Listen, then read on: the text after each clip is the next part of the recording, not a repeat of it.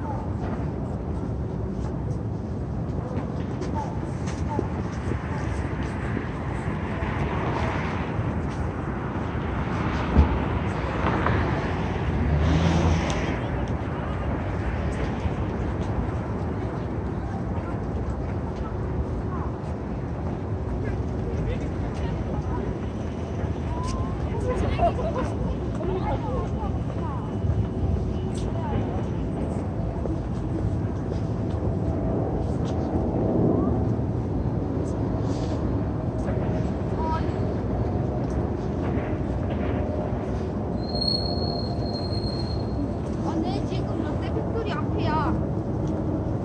걸어가고 있어.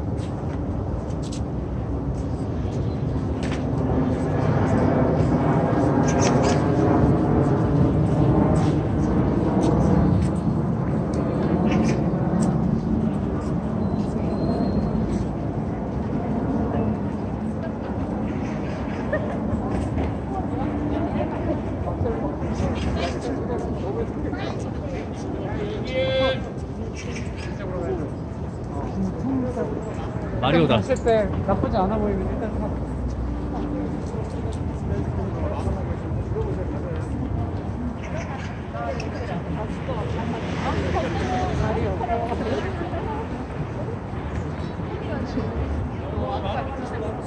이래서 타고 다니고. 나도 한 번도 안 이래서 타고 다니고.